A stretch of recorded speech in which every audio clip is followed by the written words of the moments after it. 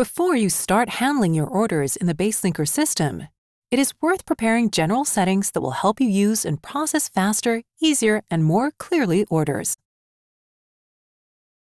To change general settings for the appearance of the order list, the order card, and how orders are processed, go to the Orders tab. And then select Settings. Here you have all the different settings of the entire system. We will focus on the Settings section and the first three options, Order Processing, Order List, and an Order Card. Order processing refers to the moment when an order is received into BaseLinker. And two things that we can change here are what actions are required when an order is received and this order is a bundle.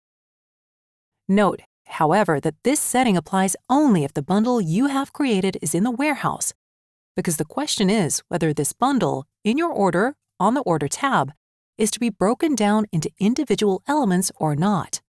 You have four options. We do not split the order, yes, and then the price is divided proportionally by products. Yes, and we add discount items for the difference in the price of the set and its products. And the last option is we do not break the sets, but we do it in the Packing Assistant. That is, on the order card. We do not see individual elements, we only have a bundle visible. But when the order is packed, the person sourcing the stock sees the individual elements of the bundle. A further setting here concerns the order confirmation, and at what point of the order process we change the stock levels. You can select one of the following settings. At the time of order confirmation, after packing the order, after creating a package for the order, when issuing a sales document, and with your own manual or automatic action. The next part concerns the settings of the order list. Orders, or how this list should look like. The first thing, do you want the flags of the country to be visible for a given shipment of a given order? This will make it easier to handle orders as you will see which are domestic, which are foreign. You can choose how big you want the icon to be big, very small, or normal. Next, what additional information do you want to be visible immediately in the list of orders?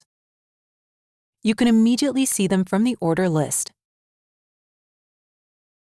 Buyer's comments, seller's comments, additional fields, or any other information. Then you can decide where you want this additional information to be seen. It can be displayed under your name.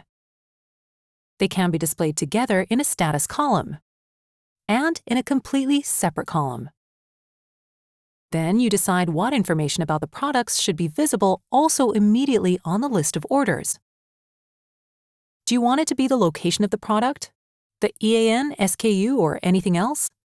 Product thumbnails, you can display a product picture in the order list. It can be visible next to the product or over it. It can be displayed only when you hover over the product. Or you can select for it not to be displayed at all. Then you need to decide whether the rows are to be colored, that is, whether one should be gray, the other white. Using color differentiation when you have to process a lot of orders on the list can make them easier to use. Then you choose the Archive Search mode whether you want to search only by all the content or only by a search fragment. Let's see what the list of orders look like after the changes are made. After going to the Orders tab on the home page, select Order List. So as you can see at this point, we have added country flags, thumbnails of products that are next to the product.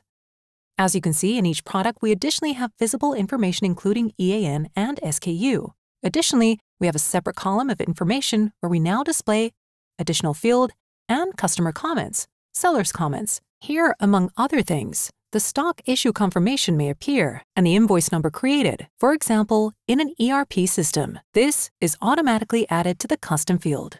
Also, we have displayed additional icons, that is changes, that are visible after those made in the orders list section. Now, let's go to the order list. The next part concerns the settings of the order card itself. Here you can also decide whether to see product thumbnails or not. Do you want to download from the store? Weight and VAT in the case of the BaseLinker warehouse information is always visible. And whether you want to group custom events.